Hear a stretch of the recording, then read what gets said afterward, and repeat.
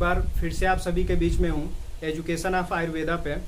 आज का जो टॉपिक है, आप सभी के लिए बहुत ज़्यादा इंपॉर्टेंट होने वाला है तो इसलिए आप सब वीडियो को लास्ट तक देखिएगा। और जो लोग चैनल पर नए हैं, वो चैनल को सब्सक्राइब कर लें और बेल आइकन को ज़रूर दबा दें, ताकि जो मेरी जो रोज वीडियो आ रही है, उसका अपडेट आप सभी को मिलता रहे। तो आज का जो टॉपिक है आयुर्वेद का संपूर्ण परिचय मैं आप सबके बीच में लेकर के आया हूँ। काफ़ी लोगों ने कमेंट किया था कि सर हमें आयुर्वेद का इंट्रोडक्शन हमें दीजिए आयुर्वेद का परिचय दीजिए। तो आप सभी के लिए मैं आयुर्वेद का एक संपूर्ण परिचय लेकर के आया हूँ। और आशा ये करता हूँ कि, कि आप सभी को ये जो आयुर्वेद का संपूर्ण परिचय है अच्छी तरह से समझ में आ जाएगा।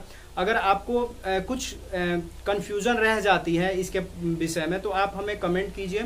मैं उसका निपटारा करूँगा उसको मैं अच्छी तरह से एक्सप्लेन करूँगा नेक्स्ट वीडियो में और उसको डिफाइन करूँगा या आपको समझाने की कोशिश करूँगा कि ये चीज़ें कैसे होंगी या ये चीज़ें कैसी हैं और कैसे इस, इसको सामने रखना था या इसका परिचय कैसे आपको करना है या सारी चीज़ें मैं स्टेप बाय स्टेप उसको समझा दूँगा। तो आयुर्वेद का जो परिचय है, सबसे पहले आयुर्वेद का परिचय जानने से पहले आपको ये जानना होगा कि हमारे जो वेद हैं, उसमें सबसे प्राचीनतम वेद कौन सा है? जैसे सभी को पता होगा कि वेद जो है, चार हैं, यजुर्वेद अथर्वेद ऋग्वेद और सामवेद। ये चार वेद जो है, वो सृष्टि जब उत्पन्न हुई थी उस समय इनकी रचना हुई थी, पृथ्वी का जब उत्पत्ति हुई थी, उस समय इसकी रचना हुई थी। तो माना यह जाता है कि सबसे जो पुराना जो वेद है हमारा, वो ऋग्वेद है। तो इसका जो उत्पत्ति काल है लगभग तीस हज़ार से पचास हज़ार साल पहले की इसकी उत्पत्ति है, और माना यह जाता है कि जब पृथ्वी की उत्पत्ति हुई थी, तभी आसपास में इसके भी उत्पत्ति हुई थी मतलब इसका भी निर्माण हुआ था। तो जो सबसे प्राचीनतम वेद है ऋग्वेद, उसमें भी आयुर्वेद का उल्लेख पाया जाता है। तो आप सबको जान करके ये हैरत होगा कि जो आयुर्वेद है, आज की पद्धति नहीं है। पृथ्वी के उत्पत्ति काल से ये पद्धति हमारे बीच में है। लेकिन कई लोगों ने निगेटिविटी फैला रखी है और आयुर्वेद को ज़्यादा लोग पढ़ना नहीं चाहते हैं और इससे ज़्यादा लोग जुड़ना नहीं चाहते हैं। इसलिए ये पद्धति जो है धीरे धीरे बहुत ज़्यादा पिछड़ गई थी। लेकिन इस समय ये ज़्यादा पद्धति काम में आ रही है और हम अपनी चिकित्सा पद्धति को पहचान रहे हैं तो धीरे धीरे इसका डेवलपमेंट हो रहा है। तो जैसा कि मैंने बताया कि जो सबसे पुरानी जो जब जो सबसे पुराना जो वेद है, वो ऋग्वेद है, और उसमें भी आयुर्वेद का उल्लेख पाया जाता है। लेकिन जो कुछ आयुर्वेद के जो विद्वान थे, जो महर्षि जो थे, जो आचार्य थे, उसमें आचार्य सुश्रु और कश्यप इनका मानना यह है कि अथर्ववेद जो है, आयुर्वेद का उपवेद है। अथर्ववेद, आयुर्वेद का उपवेद है। तो आपको ये पता चल गया कि आयुर्वेद की उत्पत्ति कब की है और किस वेद में इसका उल्लेख है, इसका उपवेद कौन सा है। तो आगे चलते हैं और ये जानते हैं कि आयुर्वेद के जो जनक हैं, आयुर्वेद के जो चिकित्सक थे, कौन थे? तो अगर आयुर्वेद की चिकित्सा पद्धति के बारे में बोलेंगे तो बहुत ही पुरानी चिकित्सा पद्धति और वेदों में इसका वर्णन अलग अलग वेदों में है। जो ऋषि जाते हैं, आदि और आचार्य, आयुर्वेद के आदि और आचार्य अश्वनी कुमार माने जाते हैं। और इनसे भगवान इंद्र ने आयुर्वेद की विद्या सीखी। भगवान इंद्र ने अश्वनी कुमार से आयुर्वेद की विद्या सीखी और भगवान इंद्र से भगवान धनवंतरी ने ये आयुर्वेद की विद्या सीख करके पृथ्वी के लोक कल्याण के लिए इनका जन्म हुआ। राजा काशी के जो राजा नाम दीवोदास था तो उन्हीं के रूप में राज भगवान धनवंतरी का पृथ्वी पे जन्म हुआ और इन्होंने आयुर्वेद के जो प्रकरण है, आयुर्वेद का जो सिद्धांत है, आयुर्वेद की जो चिकित्सा पद्धति है, उसका विकास लोगों के हित में पृथ्वी पे करना शुरू कर दिया।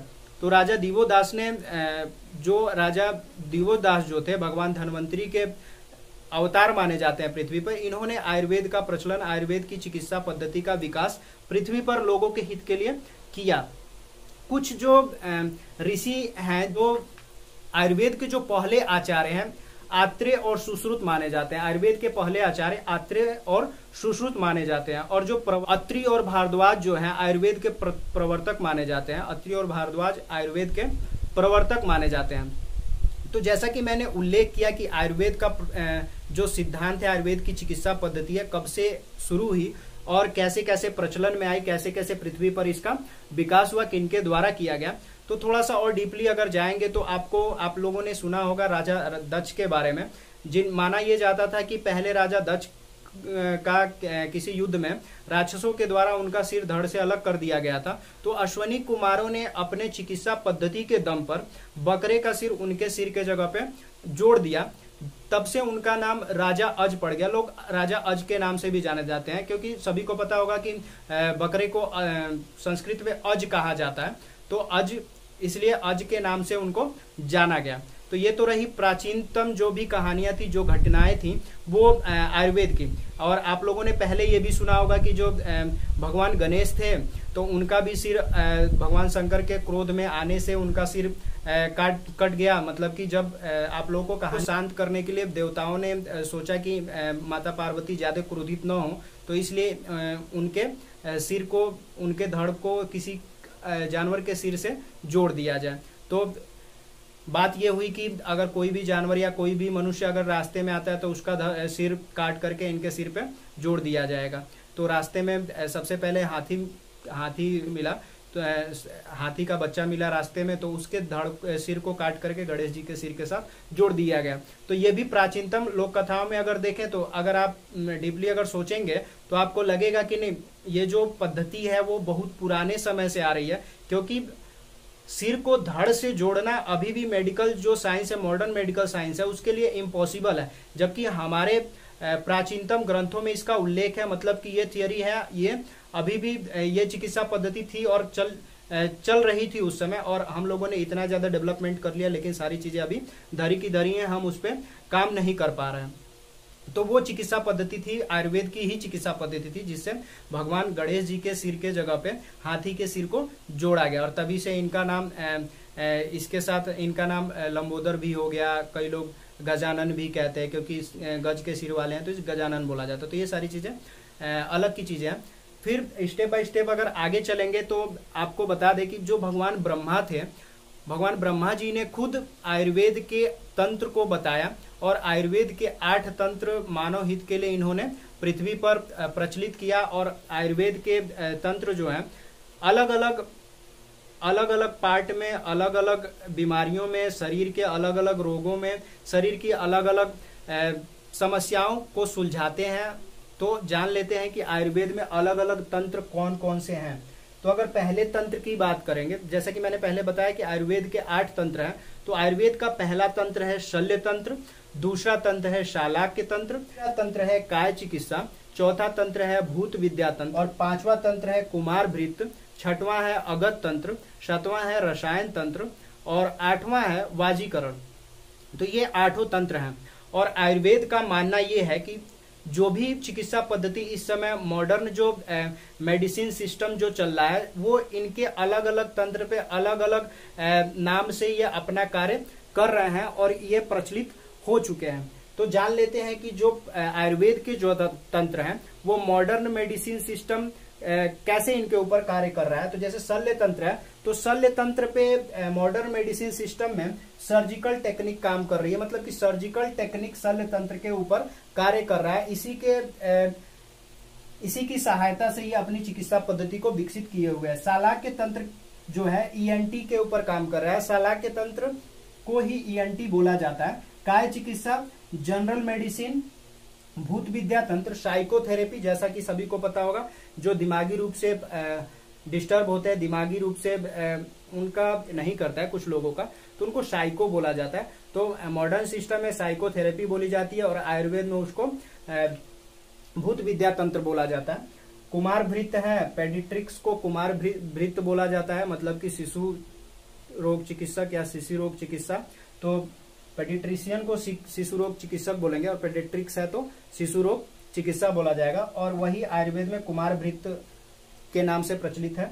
अगध तंत्र, जिसको टॉक्सिकोलॉजी बोला जाता है मतलब कि भारी तत्व आर्सेनिक हो गया, पारा हो गया, इनसे होने वाले जो दुष्प्रभाव है शरीर में तो उनकी चिकित्सा पद्धति को टॉक्सिकोलॉजी बोला जाता है। रसायन तंत्र को रेंजनवेंशन और गेरिएट्रिक्स बोला जाता है। उसी तरह से वाजीकरण को सेक्सियोलॉजी वाजीकरण को सेक्सियोलॉजी बोला जाता है। तो जितनी भी चीज़ें हैं स्टेप बाय स्टेप मैंने आप सभी के सामने रख दिया, सभी चीज़ों को मैंने एक्सप्लेन करके अच्छी तरह से समझाया। तो आशा करता हूँ कि जो भी आयुर्वेद का जो मैंने परिचय आप सभी को दिया वो अच्छी तरह से आपको समझ में आ गया होगा। जिनको अभी भी कन्फ्यूज़न है आयुर्वेद के इतिहास के बारे में, आयुर्वेद के डेवलपमेंट उसकी चिकित्सा पद्धति के विकास के बारे में तो आप हमें कमेंट कीजिए और कमेंट में ये भी लिख सकते हैं कि आपको वीडियो का कौन सा पार्ट अच्छा लगा, कौन सा पार्ट नहीं समझ में आया या क्या चीज़ें नहीं समझ में आए तो मैं कोशिश करूँगा कि नेक्स्ट वीडियो में उन चीज़ों को अच्छी तरह से समझा दूँ। आशा करता हूँ कि आप मेरे क्लास को रोज अटेंड करते होंगे और जो भी स्टूडेंट है क्लास अगर अटेंड कर रहे हैं तो बस प्रेजेंट लिखने से नहीं हो जाएगा कि आप, मैं देख रहा हूँ कमेंट में बहुत सारे ऐसे स्टूडेंट है जो रेगुलर कमेंट करते हैं, प्रेजेंट सर प्रेजेंट सर तो इसका मतलब ये नहीं कि आप कमेंट कर रहे हो तो आप क्लास कर रहे हो। अगर आप वीडियो को फॉरवर्ड करते हो, भगाते हो तो इसका इससे ये नहीं होगा कि आपने क्लास कर लिया। वीडियो को बिना फॉरवर्ड किए, आप वीडियो को लास्ट तक देखिए और जो भी टॉपिक है, आप उसको नोट कीजिए, उस पर नोट्स बनाइए। आप ऐसा जान रहे हो कि मुझे नहीं पता चलता कि कौन क्लास अटेंड कर रहा है, कौन नहीं अटेंड कर, मुझे सारी चीज़ें पता है कि किसने क्लास अटेंड किया, किसने नहीं अटेंड किया, क्योंकि मुझे वॉच टाइमिंग से पता चलता रहता है कि कितने लोगों ने मेरी क्लास को अटेंड किया। तो जो भी स्टूडेंट क्लास अटेंड कर रहे हैं, वो रेगुलर क्लास अटेंड करें और पूरे वीडियो को शुरू से लेकर के लास्ट तक देखें ताकि आपको जो भी टॉपिक है, वो अच्छी तरह से समझ में आ जाए। तो अगर वीडियो अच्छा लगे तो लाइक, कमेंट, शेयर करना ना भूलें।